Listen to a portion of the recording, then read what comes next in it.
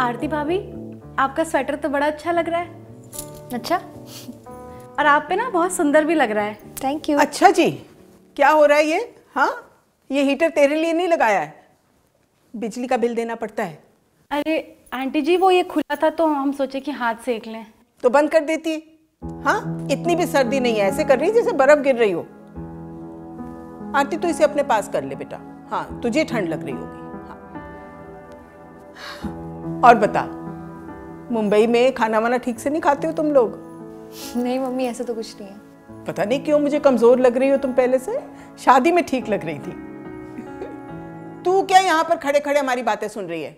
जा, काम कर जाके। देखो जरा इसे।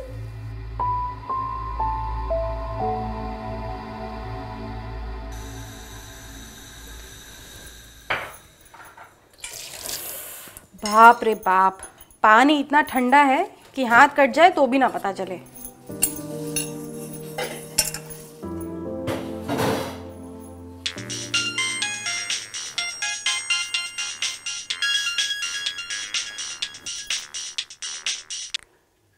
हेलो? हाँ बिट्टू को खाना खिला के दवाई दे देना नहीं तो फिर तबीयत खराब हो जाएगी तो दिक्कत हो जाएगी। आ रहे हैं हम बस काम निपटा के जल्दी। हाँ हम आ रहे हैं बस। क्या हुआ? सब ठीक है? अरे दीदी हमारे लड़के की ना तबीयत खराब है एक हफ़्ते से। बुखार ही नहीं उतर रहा है। आप चिंता मत करो। और कुछ ज़रूरत हो तो बताइएगा।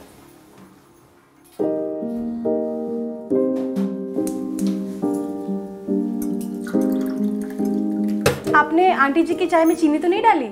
नहीं। उनके शुगर का ना ध्यान देना पड़ता है थोड़ा। आप ये लीजिए। चाय।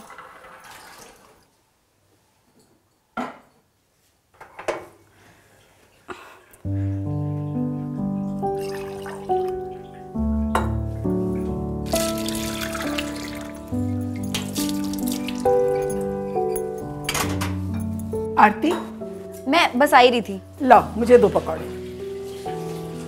शालिनी तुमने लिए पकौड़े? मैं बस दे रही थी इनको। लो मुझे तो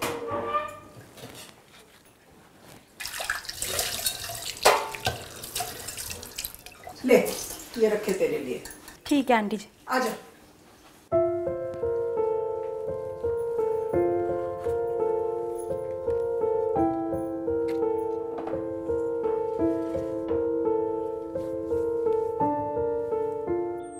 कितना टाइम लगेगा तुम्हें अभी और?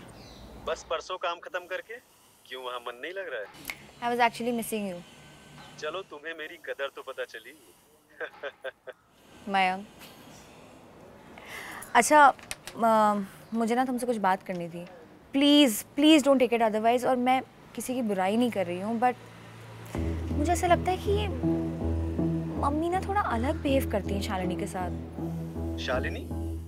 मतलब? कैसे समझाऊँ? जैसे I think she can be more kind towards her ऐसा कुछ नहीं है आरती। तुम कुछ ज़्यादा ही सोच रही हो। और मम्मी ने हमेशा से इस घर को संभाला है। प्लीज़ उन्हें जज मत करो।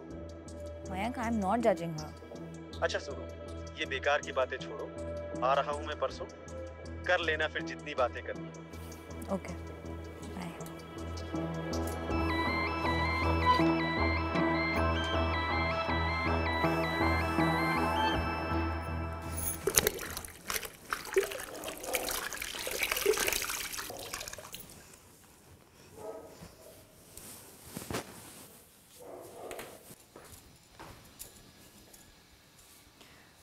अरे शालिनी आप चप्पल तो पहन लो ठंड कितनी हो रही है? अरे भाभी घर गंदा हो जाएगा ना? तो घर की चप्पल पहन लो मैं देती हूँ। अरे भाभी हम ठीक हैं ऐसे ही। पहन लो आप। ये लो।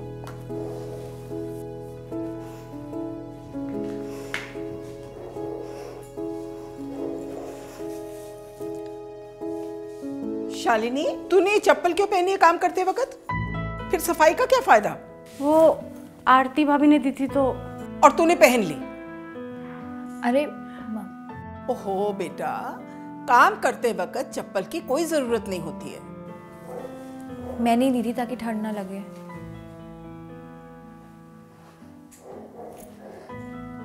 भाभी अब रहने दीजिए ना चप्पल हमको आदत है नंगे पैर रहने की। सारे घर में तो ऐसे ही काम करना होता है।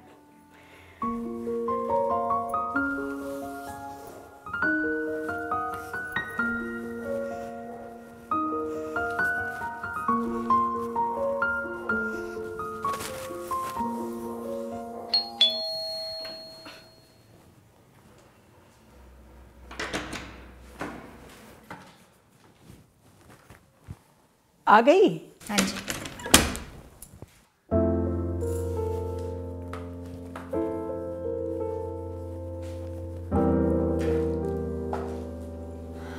अरे आरती नंगे पैर क्यों है?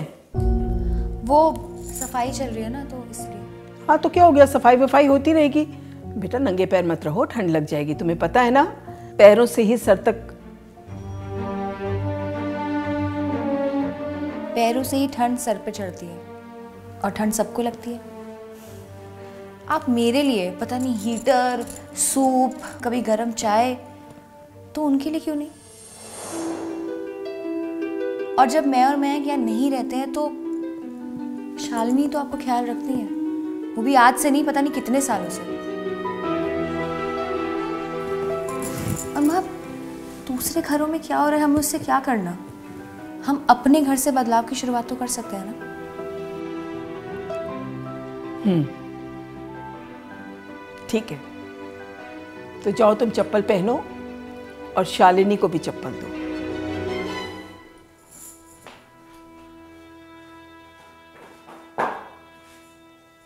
शालिनी एक सेकंड आइए। ये पहन लीजिए। भाभी ये पहन लो।